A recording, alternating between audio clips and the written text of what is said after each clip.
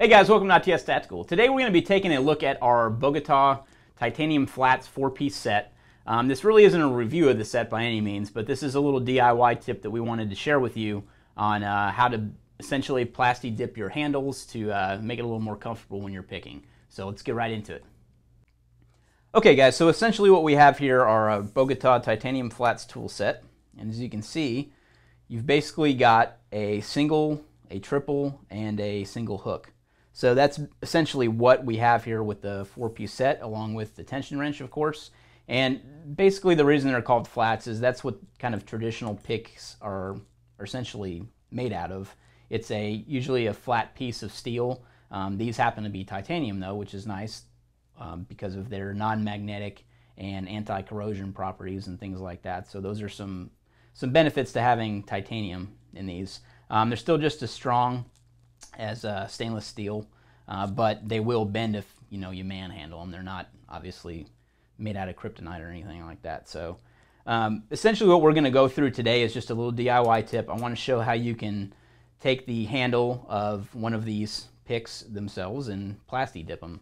But essentially, plasti dip is just a rubberized coating. Um, it's kind of a little hard to find in the store, meaning you got to really search for it in the paint department in like Lowe's or Home Depot. Uh, but they do sell it. This is black. Um, and essentially, it's just rubberized coating. You just dip it in. Um, the instructions really call for, you know, putting it in, I guess, what, an inch every, what was it, a couple of seconds or every five seconds, something like that. So just read the directions and we'll kind of walk through that too. But essentially what you get is a nice rubberized coating. And if you've ever, you know, if you're doing lock sport and things like that and you're really having picks in your hands all day, manipulating locks, um, these this flat design can actually start to dig into your hands and you know makes it not as ideal as as and as comfortable. So you can plasti dip the handles to kind of give yourself a little little cushion there to to work with the picks. Um, I wouldn't recommend actually dipping the tension wrench though because you really need to be able to feel with that tension wrench. Um, you know you want to get the movement of your finger on that thing and you really want to be able to to feel what the lock is doing on the tension wrench. That's important. And if you put that rubberized coating on, you kind of lose some of that dexterity that you have um, with the tension wrench. So I really wouldn't recommend doing the tension wrench. So let's go ahead and show kind of the process here of dipping one of these. Um, this one in particular, I don't know if you can really see the dimension of that, but uh, it's a considerable difference there between the standard. Um, it probably adds, I, I don't even want to really guess the thickness there, but um, it is going to add to the weight too, which is another thing to, to keep in mind if you know the lightweight aspect of titanium is what's kind of brought you to these in the first place. Um, the whole set itself weighs about 0.3 ounces, the four-piece set, so obviously putting plasti dip on them is going to increase that. So this is a double coat of plasti dip, so I've dipped this twice in there.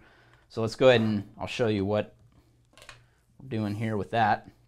So essentially all I'm going to do, I, first, here's a little tip too. I tried to actually put masking tape right to the line of where I was going to dip to. And uh, what happened is the rubber didn't stick to the masking tape. So whenever I pulled off the masking tape, I still had this extra bunch of rubber sitting up there. So I wouldn't recommend trying to mask them off. I just try to dip them right to the line where you want them to, or where you want the rubberized coating to stop at.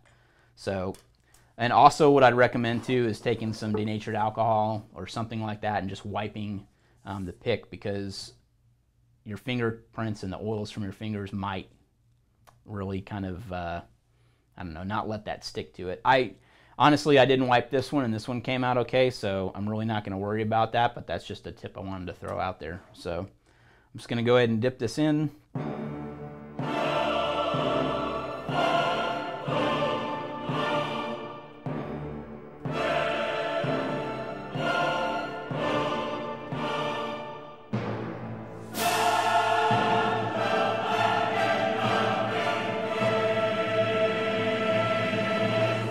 Essentially what you're going to do after you pull this out is you're going to let it dry.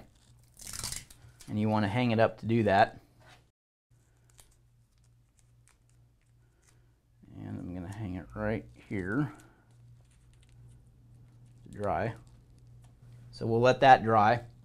And uh, essentially that's it. I'm probably going to take two passes of that just like I did with this, um, double coat it.